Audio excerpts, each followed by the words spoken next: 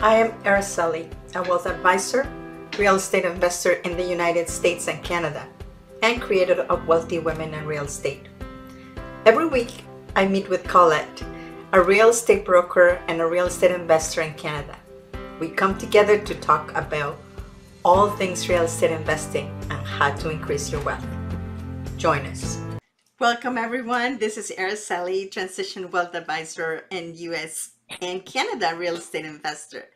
My chat with Colette, we have actually a kind of funny uh, story. Or, and Sure, uh. Colette, can you introduce yourself and let us know what we're talking about today? Of course. Hi, everybody. My name is Colette Rava. I'm a real estate broker in the GTA, uh, which means I love helping homeowners buy and sell anywhere Etobicoke, Mississauga, uh, Brampton, Burlington, Oakville, and anywhere in the West End, I guess. Yeah. Um, and Araceli and I, you know how we love real estate. We love uh, any type of questions, any comments you have, anything that if you want to subscribe, we would love to see you subscribe. Ask us questions because this is what the show is all about. And sometimes, Araceli, because we talk about real estate so much, we sometimes have a little bit of fun. So we thought we would share that today. And uh, sometimes we we talk about how home ownership is almost like having a relationship like really you're you're in love with your house but that's not what we're talking about. You're in love with your income properties. But really it's kind kind of like relationship status. So you know when you look at oh, okay are you single? Are you married? So we thought okay how is that like home ownership? So we came up with a couple things and, and we thought it was kind of funny because Yeah. it's so so similar right Yeah, absolutely. so the first one is easy. Committed. When you say committed, committed, yes. that means you own a home, you're committed to taking care of it. you have to put love into it and Yeah, you cannot live it like you cannot leave it at any time. You gotta really think about it. You're gonna exit the relationship, right? That's So right. because you're there, you have a signed contract. You really have a signed contract, right? Like Exactly. a And ultimately you're in love, right? That's, I love that. So so then the opposite would be single, Single. which means you're a renter. yeah. So Yeah, that so- you don't you're not committed. You can leave at any time. Absolutely. You're looking around. Yeah. If you don't like it, you just, you know, next month you go somewhere else, right? Very it's big deal. That's right. Yeah. So, but even as you're a renter, you could be committed and you might love your place too. So that's easy to do. That's easy. Yeah. So let's say engaged. So if you're engaged, Who's engaged? Who's engaged? So I'm, you know, hey, uh, maybe it's somebody who has an offer on a property, but they're still not for sure. They haven't actually gotten married yet.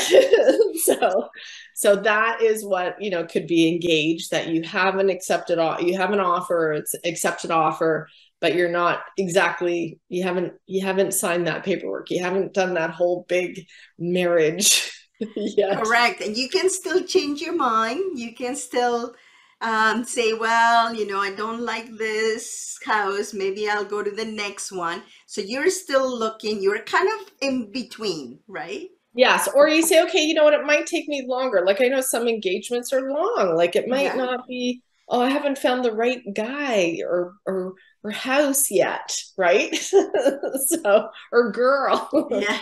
So I don't know. Do you name your houses? Some people do that. Some people say, "Oh, this I call this house so and so," or you know, I don't know Um, you do no, I usually, when I have my houses, uh, I give them, I refer them by the name of the street, right? Yeah. So I would say, like, I have a house in Emerald Street. So when I refer to the house, I said, I'm going to Emerald, right? So I Emerald. know, Yeah, yeah, that's nice. So some people name their their. I don't know. I don't do that, but you know, some people do that. Um, but I know that's not true. The cottage I actually uh named it something. I on on Instagram. It's a little home in the hamlet. So it's not a name, but it's like a little tag, I guess, yeah, right? yeah, that's cool. Yeah. Yeah. So uh um what about it's it's complicated. Oh, yeah, then Yeah, I'm in a relationship status, right? It's complicated. Yeah. So that's probably easy. Somebody who's not sure if they want to buy or not. Yeah. Yeah.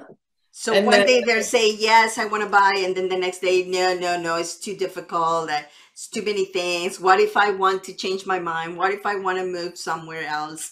So they're kind of in this state of mind that they can't really decide A lot of people going or coming or whatever, right? Yeah. And then what relationship are you in? I am in an open relationship. Oh, I think I am too. What is an open relationship? So open relationship is when you have many houses, so you can go from house to house to house, and then you have different things, right? Because Yeah. every house will give you different things. I think that's how open relationships work, doesn't it? I don't know. I don't know.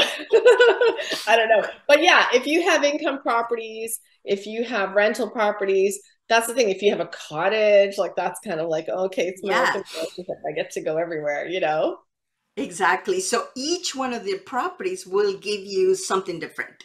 And that's what it is. So you're really you're really committed to many different houses, right? Right. And now each one of them will create maybe some cash flow, maybe you're committed to Maybe one in order to flip it, right? Yeah. Yeah. or to go to a vacation. Um, so there's, we thought that this was kind of funny because, you know, yeah, you do have many commitments, right? It's like you are married to different houses because you have responsibilities, you still have to take care of them. Uh, And you have sure to juggle them all. Yes, exactly. So they don't get them. jealous of each other. That's right. No, they don't get jealous. This is the good thing about it. You know, Exactly, nobody yeah. They This don't talk. good thing. Yeah. Right. so we love these analogies uh, about how you can be in a relationship with your houses or your house whatever it is and i think that it is very important because it is a big commitment of when course. you yeah. have a property whether it's your own property that you live in or you have an investment property you can have a mix because you know for the longest time i had my triplex and i lived in one unit so i lived in the house and it, it was also an income property Sure. at the same yeah. time and the same if you don't have that but you want to rent a room that's also an income property for you Of whether course. you're there or not right? So that is super important. So i hope you had fun in this episode because i thought that it was kind of funny and we wanted to just uh, share that with you. Well, and the one thing that's most important about relationships, either with your homes or with people, you have to enjoy them. So as long as you're getting pleasure out of them or income out of them, then you know, hey, that's that's what we all strive for, right? Yeah, absolutely. That's exactly why you get into a relationship, whether Yeah. it's with a partner, whether it's with a friend, because you enjoy the company and you get something out of out of it. Obviously, it's happiness, some way or another, you know, companionship. So that's what relationships are about. So the same thing with your real estate investment properties or your own house.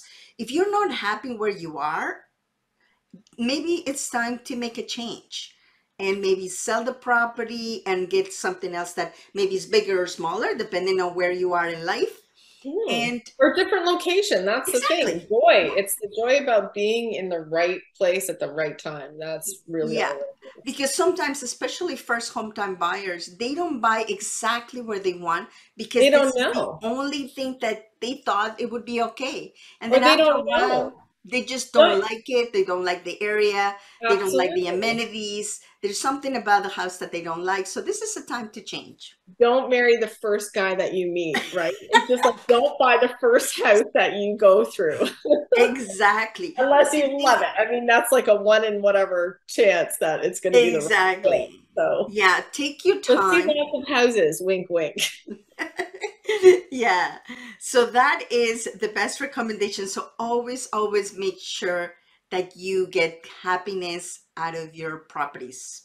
That is the best advice that i can give you. And have fun. yeah exactly. Thank you colette for being here. And remember guys to subscribe and to ask us questions because that's what we're here for to give you more information so you can make the right decision to buy an income property or not or make your first property like the property that you Sure, live in sure. Yay. That's so thank you colette and uh, we'll see you at the next one Okay, thank you. And thanks for joining us, everyone. Bye. Bye. Thank you for being here on the show. Please remember to subscribe and hit the notification bell to get notified when there are more shows available. And if you would like to have more information on how to start investing in real estate, please visit my website at www.aracelihernandez.com. Thank you.